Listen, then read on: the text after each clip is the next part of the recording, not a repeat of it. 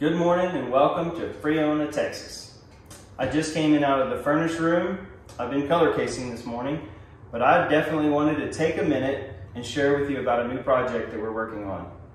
No, it's not handgun, it's not a single action, but what these are are 16 inch barrel, 357 Magnum, 73 Winchesters.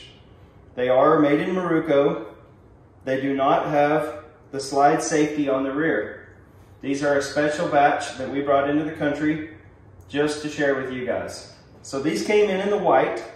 We then color cased the barrel band, receiver, side plate, lever, as well as the butt plate. When we ordered these rifles, we ordered them with high grade wood and they did not disappoint. So they're a absolutely slick little rifle. Uh, ladder rear sight. If you'll notice, they've got the brass bead post front for just a incredible little sight picture. So we did decide to drop a couple of different lines of these. We did the engraved version and we did the standard version. The engraved version is hand engraved. This is no laser engraving whatsoever. Uh, this pattern was the first pattern that we did.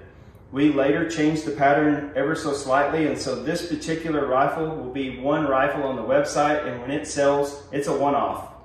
The, the rest of the engraved models will have a different pattern on them. So go to our website, pull up the store, go to rifles, find the 73s, decide whether you want the non-engraved version, which is absolutely gorgeous, or if you want the hand-engraved version. Either way, you can't go wrong.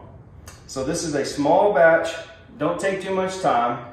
There was less than 50 of these that came in in this shipment, and we are moving through them quickly. Thank you, and have a good day.